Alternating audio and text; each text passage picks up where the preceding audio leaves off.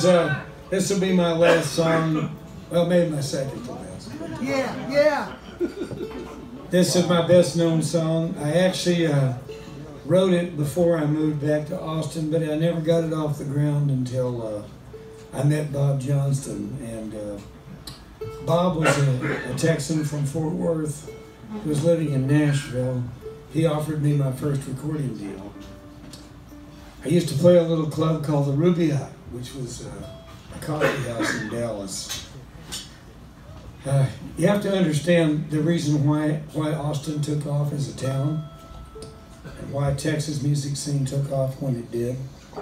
Up until 1970, virtually not one county in Texas had public drinking. Pro- prohibition was still in effect in most of the counties. I'm not kidding. You had uh, you had no liquor by the drink walking up to a bar until right around 1970 when they changed the rules. And statewide, a lot of people started, uh, you know, putting in bars. So until then, it was all private clubs. So Austin was one of the first places where that really took off, and all of a sudden you have a lot of private clubs that went to be public clubs, like the Broken Spoke, places like that that are legendary now. And uh, suddenly there was a place for people to go, and students who were of, of an age, I think drinking age then was 21, but there were students around who were just getting out of four years that, that were still around, and course there were plenty of people using fake IDs to, uh, to go to bars and saloons. That's kind of how it, how it took off. And I was playing in these coffee houses though before that happened. Uh, it was kind of interesting because it wasn't about selling alcohol. It wasn't about doing cover songs. It was about coming up with original material. And people were sitting and drinking coffee and listening to your songs. So there was a little bit more focus on the actual material. And it was, uh, oddly enough, a scene that made it possible for people to write more original material because it, it wasn't just about a rowdy scene. And it was, it was kind of a listening audience. So, into the middle of a show that I was doing there one time, in walks this guy named Bob Johnston. He said, I, I'm in town for my dad's funeral, but uh, I had to get away from all that. I just feel too sad, so I came down here to hear you play.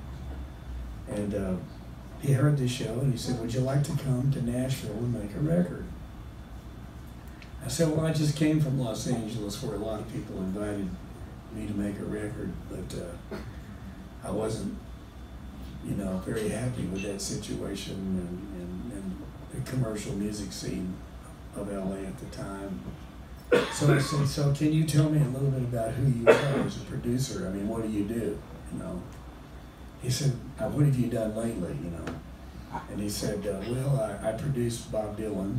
Whoa. An album called Blonde on Blonde, and uh, produced uh, an album called Highway 61 Revisited, and uh, let's see, what else did I do uh, for Bob? I did uh, Nashville Skyline. I said, okay, so what else?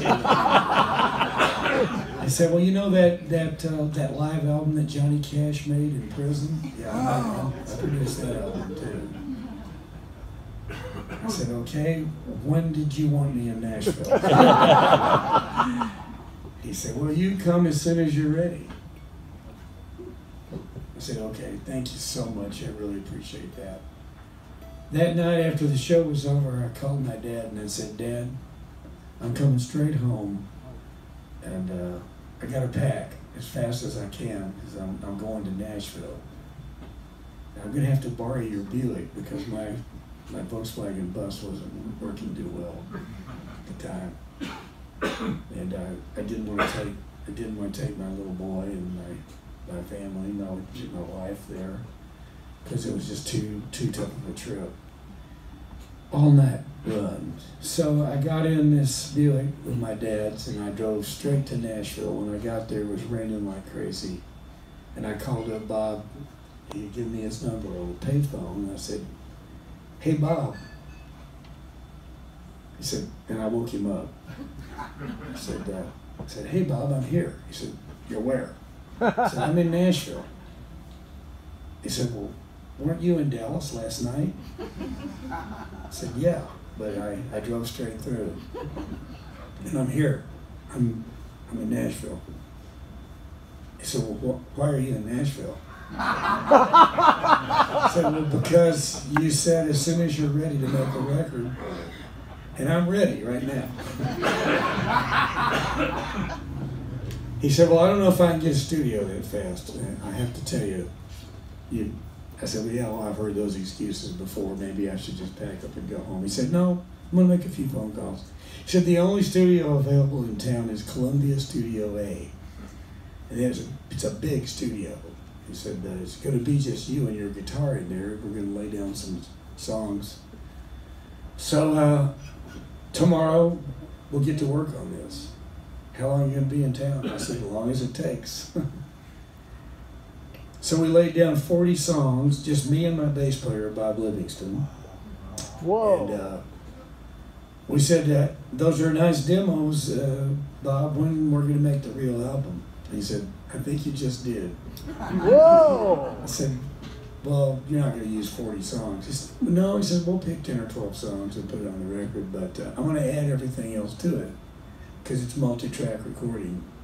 I said, yeah, I know all about that. We had, we, I recorded on some of the first four-track recorders that they had in, in, in LA because I was in the songwriting scene. He said, well, we're just going to add everything else. You know, we, we're up to, we're up to 12 tracks now. we can add on there. So that's what they did. He said, You can leave town. I'm going to put all the other stuff on there. We eventually came back. I came back with Gary Nunn, and uh, he sang on the record. And Leonard Arnold, who was my lead guitar player, played lead Oh, guitar on this song. And um, so this is my second to last.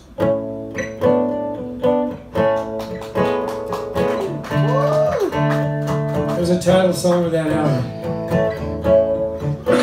I should explain, I, I was an activist for Indian civil rights at that time. I'd been driving up to South Dakota a lot to register voters who were Indians. Because even though the civil rights movement was big and I'd been involved in that, the Indians were kind of overlooked in all that. So this is a protest song. My first single was a protest song for Indian rights. And it was banned in the state of Texas. It was also banned in Boston. Of course, they banned everything in Boston. Eventually, though, it did well enough other places that a few Texas radio stations played it.